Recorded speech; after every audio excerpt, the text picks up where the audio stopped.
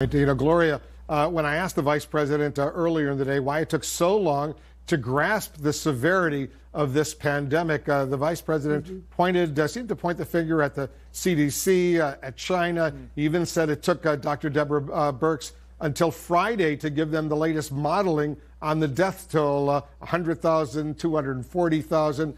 you wrote about this on CNN.com. What do you make of that kind of spin? I think it's absurd. I think it's spin. That's exactly what it is. And if the president wasn't aware of the modeling, why was Sanjay Gupta aware? Why were a lot of doctors that we've interviewed on our air aware? Uh, why were scientists all across the country aware of the modeling? Uh, this is something that was not kept a secret. It was published.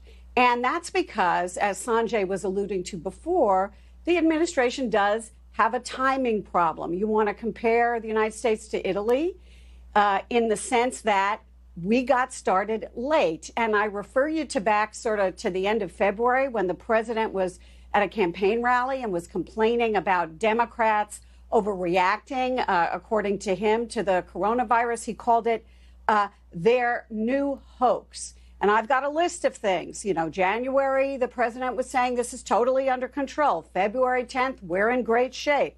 February 26th, we're going down and not up. And March 10th saying, just stay calm, it will all go away.